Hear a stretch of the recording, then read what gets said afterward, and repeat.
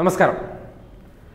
ഒടുവിൽ കോൺഗ്രസ് അതിശക്തമായ നടപടിയിലേക്ക് കടന്നു. കെ എം മാണി മരിച്ചതു മുതൽ ആരംഭിച്ചതാണ് കേരള കോൺഗ്രസിലെ പടലപ്പിടക്കവും ഗ്രൂപ്പ് രാഷ്ട്രീയവും ഒപ്പം തമ്മിലടിയും. ഏറ്റവും ഒടുവിൽ ഇലക്ഷൻ പടിവാതിൽക്കലെത്തിയപ്പോൾ രണ്ടും കൽപ്പിച്ച് കോൺഗ്രസ് തീരുമാനമെടുത്തു.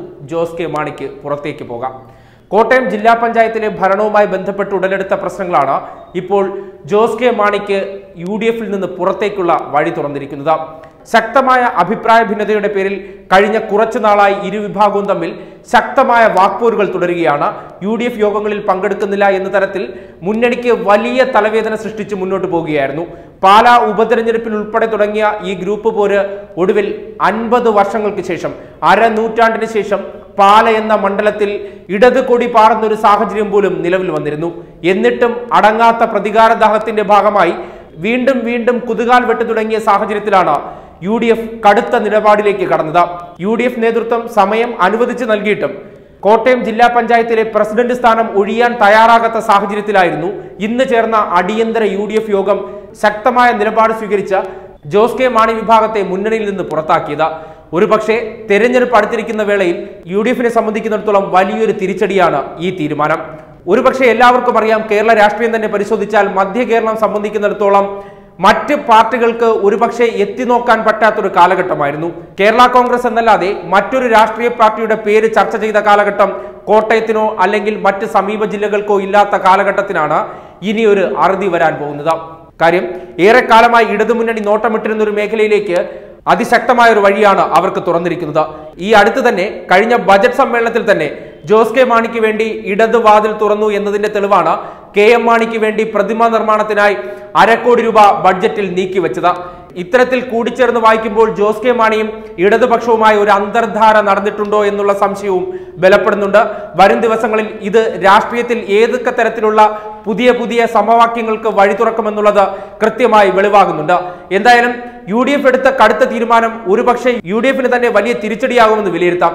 കാര്യം പാലയും കോട്ടയത്തെ പല മണ്ഡലങ്ങളിലും ജോസ് കെ മാണിക്കും ജോസഫിനുമുള്ള നിർണായക സ്വാധീനത്തെക്കുറിച്ച് കൃത്യമായി ഇവിടുത്തെ രാഷ്ട്രീയ പാർട്ടികൾക്ക് അറിയാവുന്ന കാര്യമാണ്. ഇത് മനസ്സിലാക്കി തന്നെ ബി ജെ പിയും ജോസ് കെ മാണി പക്ഷത്തെ ഒപ്പം നിർത്താൻ കരുക്കൾ നീക്കി തുടങ്ങിയിട്ടുണ്ടെന്ന് കഴിഞ്ഞ ദിവസം സംസ്ഥാന അധ്യക്ഷൻ കെ സുരേന്ദ്രന്റെ വാക്കുകളും വ്യക്തമാക്കിയിട്ടുണ്ട്. എന്തായാലും നിനച്ചിരുന്നത് പോലെ തന്നെ ഏറ്റവും ഒടുവിൽ യു ഡി എഫ് അന്തിമമായ ഒരു തീരുമാനമെടുത്തിരിക്കുന്നു. ജോസ് കെ മാണിയെ പുറത്താക്കിയിട്ടുണ്ട്. എന്തായാലും തദ്ദേശ സ്വയംഭരണ തെരഞ്ഞെടുപ്പ് സമാഗതമായ ഈ ഒരു സന്ദർഭത്തിൽ ഇത്തരം ശക്തമായ ഒരു തീരുമാനം കൈക്കൊള്ളാൻ യു ഡി എഫിനെ പ്രേരിപ്പിച്ചതും പാലാ ഉപതെരഞ്ഞെടുപ്പിന്റെ ഫലം തന്നെയാണെന്ന് ഏറെക്കുറെ വ്യക്തമായിട്ടുണ്ട്. കാരണം അന്നും പാർട്ടിയിലെ ഈ പടലപ്പിണക്കം പരിഹരിക്കാൻ കഴിയാത്തതിനാൽ പാലാ നിയമസഭാ മണ്ഡലത്തിൽ ആദ്യമായി ഇടത് സ്ഥാനാർത്ഥി ജയിക്കുന്ന ഒരു സാഹചര്യം പോലും വന്നിരുന്നു. അതുകൂടി മുൻനിർത്തിയിട്ടാകണം ഇത്തരത്തിൽ ശക്തമായ ഒരു തീരുമാനം ഇന്ന് ചേർന്ന യു യോഗം തീരുമാനം കൈക്കൊണ്ടത്.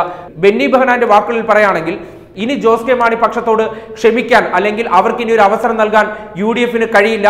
ശക്തമായ തീരുമാനം തന്നെ വേണമെന്ന് നേതാക്കൾക്കിടയിലും അഭിപ്രായം ഉയർന്നതിനെ തുടർന്നാണ് ഇത്തരത്തിലൊരു തീരുമാനമുണ്ടായത്. എന്തായാലും പുതിയ രാഷ്ട്രീയ സമവാക്യങ്ങൾക്ക് ഇടതുപക്ഷവും കരുക്കൾ നീക്കി തുടങ്ങിയ സാഹചര്യത്തിൽ വരും ദിവസങ്ങളിൽ പുതിയ രാഷ്ട്രീയ സമവാക്യം ജോസ് കെ മാണി ഇടത് പാളയത്തിലെത്താൻ ഏറെക്കുറെ സാഹചര്യം ഒരുക്കി കഴിഞ്ഞു. അല്ലെങ്കിൽ ഏറെക്കുറെ തീരുമാനമായ ഒരു മട്ടിലാണ് കാര്യങ്ങൾ പോകുന്നതെന്ന് ഇപ്പോൾ വ്യക്തമാകുന്നുണ്ട്. എന്തായാലും നേതാക്കളുടെ പ്രതികരണങ്ങൾ ഇനിയും ഇനിയും വരാനുണ്ട്. പലതരത്തിലുള്ള രാഷ്ട്രീയ പ്രതികരണങ്ങളും രാഷ്ട്രീയ സംയോജിപ്പുകളും ഉണ്ടാകേണ്ട ഒരു സാഹചര്യം കൂടിയാണ് വന്നിട്ടുള്ളത്. എന്തായാലും യു ഡി എഫിനെ സംബന്ധിക്കുന്നിടത്തോളം മറ്റൊരു പ്രധാനപ്പെട്ട കാര്യം യു ഡി എഫിന്റെ ഒരു രാജ്യസഭാ അംഗം കൂടിയാണ് ജോസ് കെ മാണി. അത്തരത്തിൽ രാജ്യസഭയിൽ ഒരു സീറ്റ് കുറയുന്ന ഒരു സാഹചര്യമുണ്ട്. കേരളത്തിലെ തന്നെ കോൺഗ്രസിന്റെ ഒരു സീറ്റാണ് ഇത്തവണ. കെ എം മാണിയെ തിരികെ യു ഡി എഫിലേക്ക് കൊണ്ടുവരാൻ വേണ്ടി കോൺഗ്രസ് കൈമാറിയത്. ഈ സീറ്റ് കൂടി അവർക്ക് നഷ്ടപ്പെടുന്ന ഒരു സാഹചര്യം നിലവിലുണ്ട്. ഒപ്പം രണ്ട് എം എൽ എമാരുടെയും കൂടി കുറവ് പാർട്ടിക്ക് വരാൻ പോകുന്നു. ഇത്തരത്തിൽ വലിയൊരു തരത്തിലുള്ള പ്രത്യാഘാതമാണ് യു ഡി എഫിന് നേരിടാനുള്ളത്. എന്തായാലും ഇത്തരത്തിൽ ശക്തമായ ഒരു തീരുമാനമെടുക്കാൻ യു ഡി എഫ് മുതിർന്നത് തിരഞ്ഞെടുപ്പ് കലണ്ടർ ഇയർ ആയതിനാൽ തന്നെ ഒരുപക്ഷെ ഈ പാർട്ടിയിലെ പടലപ്പിണക്കം ഇത്തരത്തിൽ മുന്നോട്ട് കൊണ്ടുപോവുകയാണെങ്കിൽ വലിയ തരത്തിലുള്ള തിരിച്ചടികൾ ഉണ്ടാകുമെന്നുള്ള ഉറപ്പിന്മേൽ തന്നെയാണ് ശക്തമായ തീരുമാനം കൈക്കൊണ്ടത്. കഴിഞ്ഞ ദിവസം ഉമ്മൻചാണ്ടി അടക്കമുള്ളവർ ഈ വിഷയത്തിൽ ശക്തമായ നടപടി ഉണ്ടാകുമെന്ന തരത്തിലുള്ള പ്രതികരണങ്ങൾ നടത്തിയിരുന്നു. അതിന്റെ ഭാഗമായി തന്നെയാണ് ഇന്ന് ഐകകണ്ഠേന ഇത്തരത്തിലൊരു തീരുമാനമെടുത്തത്. എന്തായാലും വരും ദിവസങ്ങളിൽ വലിയ വലിയ രാഷ്ട്രീയ ചർച്ചകൾക്ക് വഴി തുറന്നൊരു തീരുമാനമാണ് യു ഡി എഫിന്റെ ഭാഗത്ത് നിന്നുണ്ടായിട്ടുള്ളത്. ഇനി ഇത് ഏതൊക്കെ തരത്തിൽ തെരഞ്ഞെടുപ്പിൽ പ്രതിഫലിക്കുമെന്നാണ് ഇനി കണ്ടറിയാനുള്ളത്. കാര്യം രാഷ്ട്രീയമായി നമ്മൾ ഏറെ പരിശോധിക്കുകയാണെങ്കിൽ ജോസ് കെ മാണി വിഭാഗത്തിന് എത്രത്തോളം സ്വാധീനമുണ്ടെന്ന് തെളിയിക്കേണ്ട ഉത്തരവാദിത്തം അവരുടെ ബാധ്യതയായി മാറിയിരിക്കുന്നു. അതേസമയം ജോസഫിനെ സംബന്ധിച്ച് നോക്കുകയാണെങ്കിൽ അവർക്ക് എല്ലാം കൊണ്ടും നേട്ടമാണെന്ന് മാത്രമേ പറയാനുള്ളൂ. രണ്ടിലെ എന്ന പാർട്ടി ചിഹ്നം അവരുടേതായി മാറുന്നു. അവർ തീരുമാനിച്ചെടുത്ത് തന്നെ കാര്യങ്ങൾ ചെന്നെത്തുന്ന സാഹചര്യം ഉണ്ടാകുന്നു. അത്തരത്തിൽ എല്ലാ മേഖലയിലും ജോസ് കെ മാണി വിഭാഗം തഴയപ്പെട്ട് പുറത്തേക്ക് പോകുന്നു. അവർ യു ഡി എഫിനുള്ളിലോ അല്ലെങ്കിൽ കെ എം മാണിയുടെ പേര് വെച്ച് ഒന്നും ഒന്നും അല്ലാതാകുന്ന ഒരു സാഹചര്യത്തിലേക്ക് പോകുന്നു. ഒന്ന് ആലോചിക്കേണ്ട കാര്യമാണ്. കെ എം മാണി എന്നൊരു അധികായകൻ നഷ്ടപ്പെട്ടതോടെ ഒരു പാർട്ടിയുടെ ദുരവസ്ഥയെക്കുറിച്ചാണ് ഇപ്പോൾ കേരള രാഷ്ട്രീയം ചർച്ച ചെയ്യേണ്ട ഒരു സാഹചര്യം. കാര്യം ഇത്തരത്തിലൊരു മനുഷ്യൻ ഈ ഒരു വലിയ പാർട്ടിയെ കൊണ്ടു നടന്നതും അത് അടുത്ത തലമുറ കൈമാറ്റത്തിലേക്ക് വരുമ്പോൾ ആ പാർട്ടി എത്രത്തോളം ശിഥിലമാകുന്നു എന്നതിനൊരു നേർക്കാഴ്ചയാണ് ഇപ്പോൾ കേരള കോൺഗ്രസിന്റെ ഈ പതനം.